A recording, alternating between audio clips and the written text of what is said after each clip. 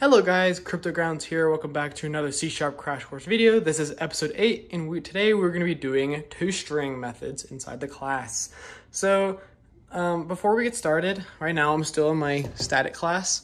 This is an issue because toString cannot be overridden in a class.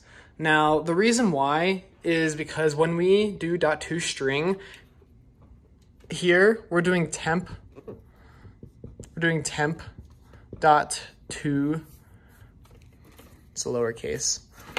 We're doing temp to string, right? So basically this is an object, right? Now that's different from doing a class.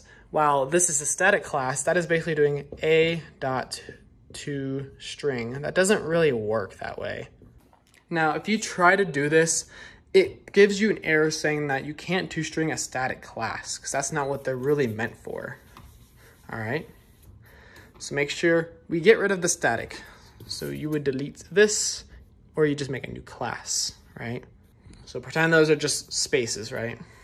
Okay, so we have our class. It looks kind of funky, I know. Let me rewrite it. All right, I've rewritten my class and now we're gonna finally override this. So what we do here is write public override string to string. So now what we do here is we return a string. That's pretty much it. so let's just say we want to, you know, print our entire thing. Basically, you can do return.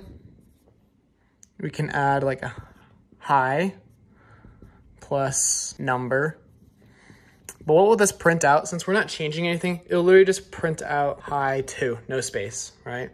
Now, what we can do better, I should do a, a video on this maybe, is string formatting. We can just literally just add a dollar sign and do hi space, curly brace, and then we put our variable. And then, and that.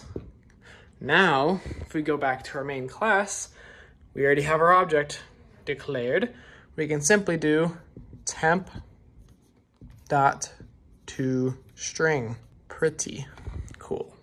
And now when you start your code, it will print out hi 2, hi space 2.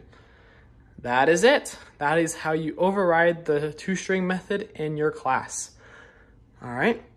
Thank you guys for watching. I hope you guys enjoyed this one. If you did, make sure you leave a like, drop a comment below if you have any questions, and subscribe to my channel and turn on bells if you're new. Anyways, thank you so much for watching. Peace.